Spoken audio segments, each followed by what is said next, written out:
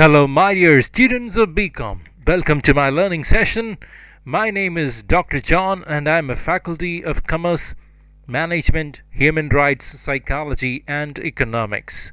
For those of you who have enrolled for BCom and have chosen Communicative English at the University of Madras, this session and the ones coming up are going to be very useful.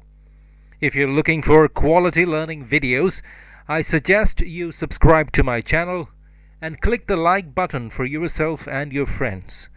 Learning is fun. Share it and be a part of the learning process. The first lesson is on speaking skills. Speaking skills will help you identify different types of speaking and help you learn how to engage in a conversation or in simple terms how to build a conversation. In the first unit, we shall learn the importance of language. Without language, it's going to be a challenge for us to communicate with one another. Speaking, writing, reading, and listening are language skills that we need to acquire. The four skills of language could be broadly classified into two receptive skills, which is reading and listening, and productive skills, which is writing and speaking. Receptive skills are indicative of being at the receiving end as a passive contributor to a context or situation. When we read, we process it in our mind. Similarly, when we listen, we hear and process that in our mind to understand it better. On the other hand, speaking and writing are productive skills as you contribute actively in the situation we structure our thoughts and have them represented into meaningful words for others to understand us. That's very simple to understand, isn't it? Now let's move on to defining speech. At school, we've seen or even participated in elocution competition or have seen our principal's speech on many an occasion. For example, our school assembly sessions. We hear their thoughts and put that into structured words for us to have a clear idea about it. Therefore, we could define speech as the ability to represent our thoughts and feelings by sounds that are embedded in words. This is a process that involves three steps conceptualization, formulation, and articulation.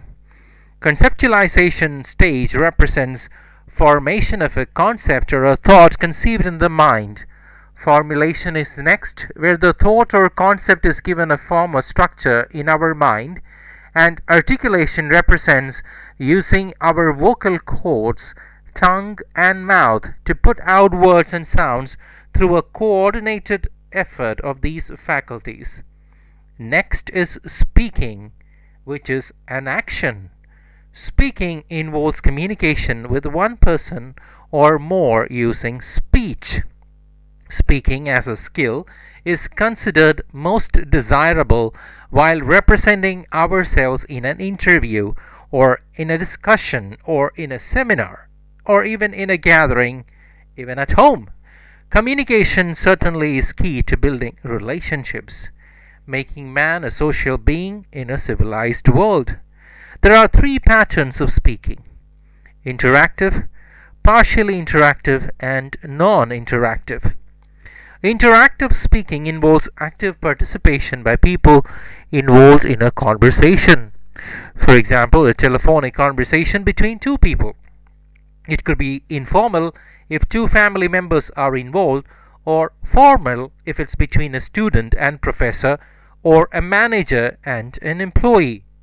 In a partially interactive session, the speaker or orator plays an active role, whereas the audience is only actively involved in listening and contributes less, except for occasions where there is a question posed.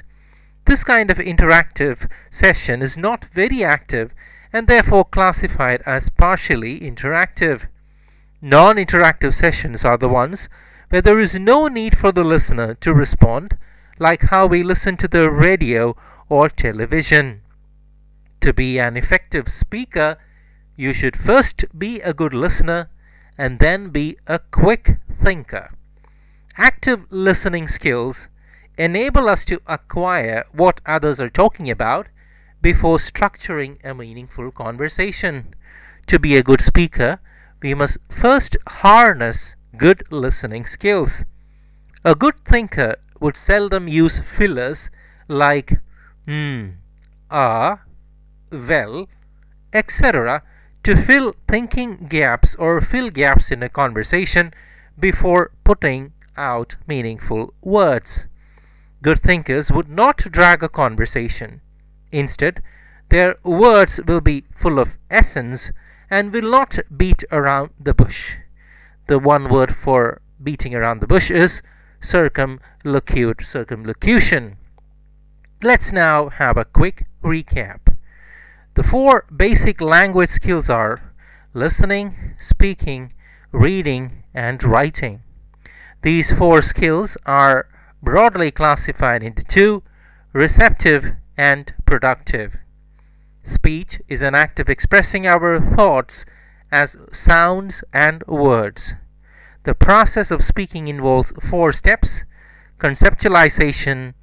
Sorry, uh, the process of speaking involves three steps conceptualization, formulation, and articulation. Speaking could be classified as informal and formal speaking. There are three types of speaking interactive, partially interactive, and non interactive. To be an effective speaker, we should be an active listener and a good thinker.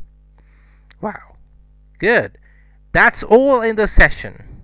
Please let me know if you have any questions. Use the comment section below.